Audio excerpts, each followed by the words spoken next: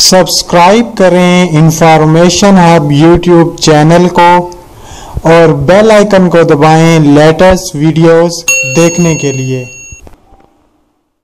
السلام علیکم دوستو، آپ دیکھ رہے ہیں انفارمیشن ہب یوٹیوب چینل۔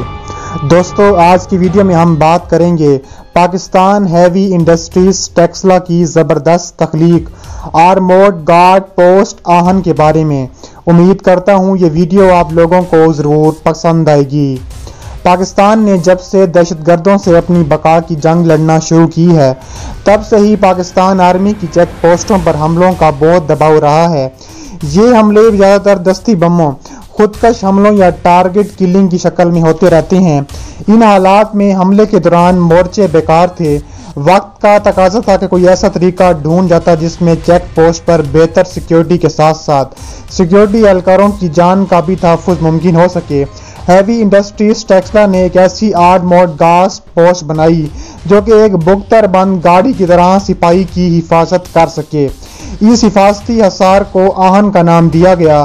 آہن ایک مربع شکل کا حفاظتی کمرے کی طرح ہے، جس کے اوپر کے حصے میں دو سپاہیوں کے کھڑے ہونے کی جگہ ہے، تاکہ اوپر کا سپاہی بآسانی حرکت کر سکے۔ اوپر کے حصے میں ہیوی مشین گن یا لائٹ مشین گن نصب کی جا سکتی ہے۔